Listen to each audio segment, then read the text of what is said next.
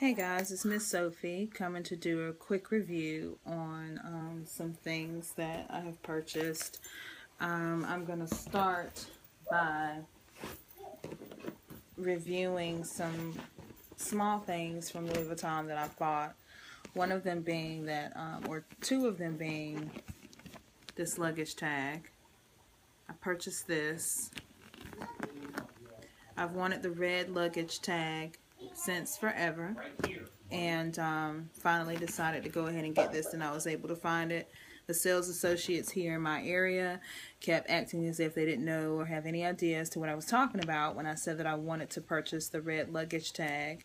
I actually called on my own to another store that was not far from me and found this. I was also able to get a key bell because I get so tired of having this lock on my Speedy um, as probably some of you Speedy owners know.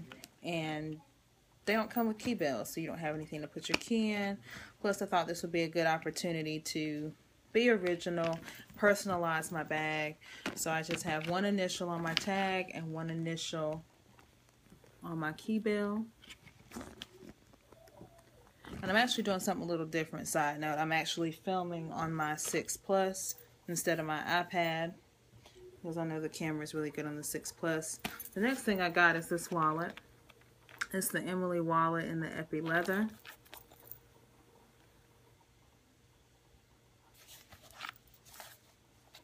And um, it's this color is called the um, what is this called? Mimosa. So I got this, and it has the silver hardware.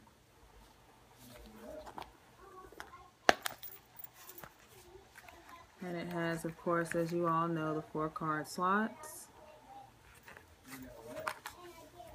Has a big compartment here, compartment for change, which I do have change in there right now, and it has a big pocket in the back. So I'm sorry the lighting sucks. It is nighttime right now, so I don't have the best lighting. Um, but this color, I'll try to direct it to the light. It is absolutely gorgeous in person. Um, I am a little pissed off because I did notice some imperfections in the wallet. And mind you, this is my third wallet. Um, simply because um,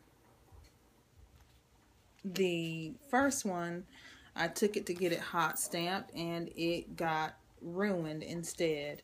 Um, so those, for those that want to hot stamp um, Epi, you might not even want to bother. Um, I went to hot stamp this and I actually was getting my initial right here and like I said it got ruined. Um, I don't know if he came down too hard with the pressure of the stamp. I don't know. I have no idea. But um, it was not good.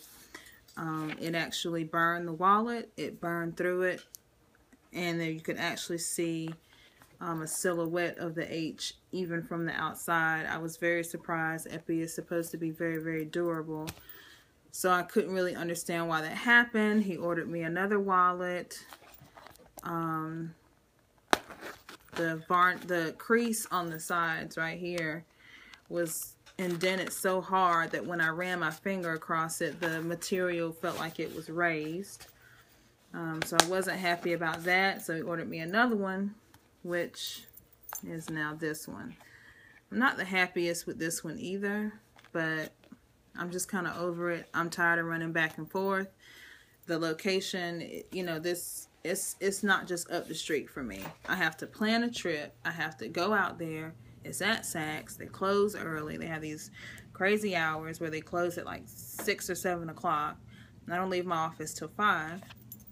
And I have to commute and drive out there um, at least about 20 minutes, and that's with no traffic. So if I hit traffic, you know, I'm in trouble. So I'm kind of over it. I'm just gonna, I guess, settle and just deal with this one. Um, but there's a lot of, to me, I mean, I'm very anal and you spend this kind of money on stuff, you expect for it to be perfect. So there's a lot of imperfections that I'm noticing on this. Uh, like I said, I'm not quite happy with, but whatever. So as far as this is concerned though, I do have the 6 Plus and it does fit inside. I'm filming on it, but let me see if I can grab a case so I can show you how it fits.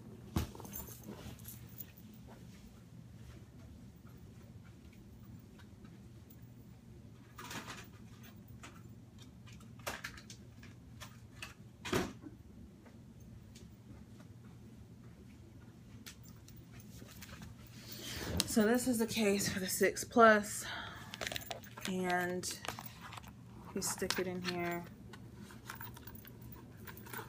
Let me just take my money out. So as you can see, with it in there with the case, it does fit well and it will close. So just put it in there like that. It will close with no problems.